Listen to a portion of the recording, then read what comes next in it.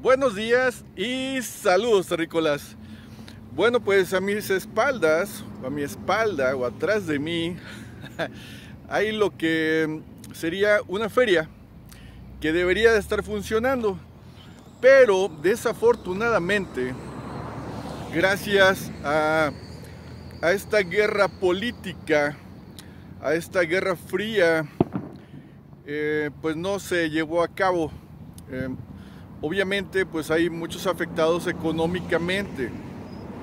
Aquí el punto de esta, de esta situación, de esta, de esta pandemia de miedo, que bueno, ya, ya todos nos dimos cuenta que, que es una farsa mediática. Dicen por ahí, es que el virus sí existe, sí, sí existe y siempre ha existido, pero es una gripa normal, cualquiera, que si ya estás viejito, deteriorado y todo eso, te va a pegar más. Si no te cuidas, pues sí, te puede cargar el payaso. Sí, igual que cualquier gripa. O sea, no, no estoy menospreciando a los viejitos, definitivamente no, nunca lo haría. Entonces, ¿qué es lo que está sucediendo? Es desafortunado, pero sabemos que muchos presidentes de algunos países están ya recibiendo esa ayuda del Fondo Internacional y pues claramente sabemos cómo se manejan. Sabemos que van a, llevarse por ahí una buena tajada, eh, aprovechándose de la pandemia del miedo. Todos los que promueven la pandemia del miedo obviamente tienen algún interés.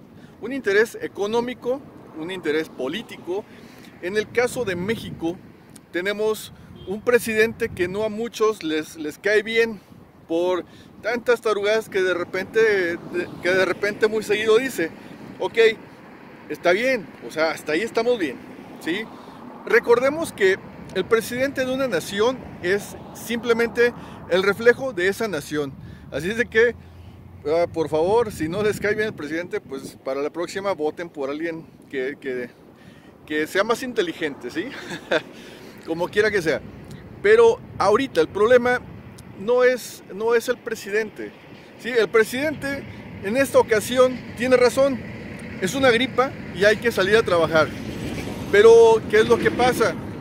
Obviamente, la gente que está en contra del presidente se monta en la ola del miedo, de la epidemia, se monta ahí se agarra de eso los gobernadores de derecha, que le llaman aquí, o sea, los opositores al presidente Andrés Manuel López Obrador están agarrándose de ese, de ese miedo mediático que te está diciendo la tele que existe.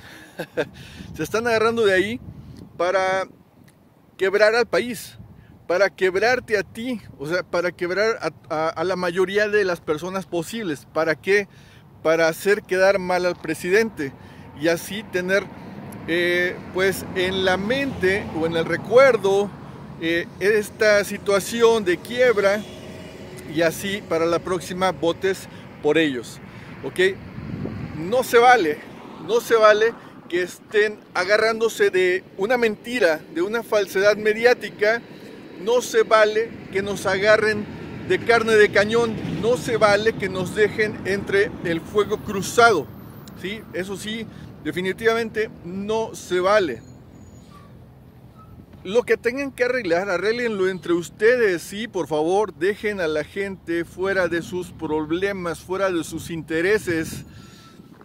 Dejen de estar haciendo eso, ¿sí? O sea, yo entiendo que, muchos se verían muy, bastante beneficiados con la quiebra de México, ¿sí? Porque obviamente entrarían ellos al poder. Pero, ok, volvemos a repetir, ya sabemos que la gripa es una gripa como cualquiera, ese, ese tan mencionado SARS o COVID, como quieras llamarle, es una gripa normal, es una gripa cualquiera. Entonces, ¿cuál es la... Uh, ¿Por qué? ¿Por qué? O sea, que todavía no entiendo uh, esa, esa hambre, esa sed de poder tan brutal, tan mortal y ahora sí ya es mortal de estas personas, de estos gobernadores que se están aprovechando de esta situación, de esta pandemia mediática. Porque en realidad, vuelvo a repetir, y no voy a cansar de repetirlo, no es, no es mortal como te la quieran hacer ver, definitivamente, no es para nada, no tiene para nada esa mortalidad. Y ahí están las gráficas, yo no se las voy a dar porque hay muchos lugares en donde pueden encontrar las cifras, ¿sí? Nunca en ningún país se ha llegado a la cifra mínima para llamarla pandemia, ¿ok? Entonces la única pandemia es la del miedo. Es desafortunado que se aprovechen así del pueblo, de la ignorancia de la gente, es, es muy desafortunado. Y que, pues bueno, estén haciendo quebrar a tantos negocios. No se vale, por favor. Chinga, gobernadores, gobernadores, por favor. entiendo su hambre, su hambre económica, su hambre de poder. Pero en serio, no se pasen. O sea, en serio, la verdad es que, bueno, no puedo decir aquí tantas chingaderas, pero, pero no se pasen, ¿sí? no lo hagan a costa o a costillas de la gente común, de la gente del pueblo. Rómpanse la madre ustedes solitos, ¿sí? Como hombres, así de frente. ¿sí? Si, si quieren quitarle poder a alguien, vayan y háganle lo que sea. Pero no se lleven a tanta gente entre las patas. ¿Ok? Bueno, pues eso era lo que yo quería comunicarles el día de hoy. Y como siempre, síguense divirtiendo. Cambio y fuera.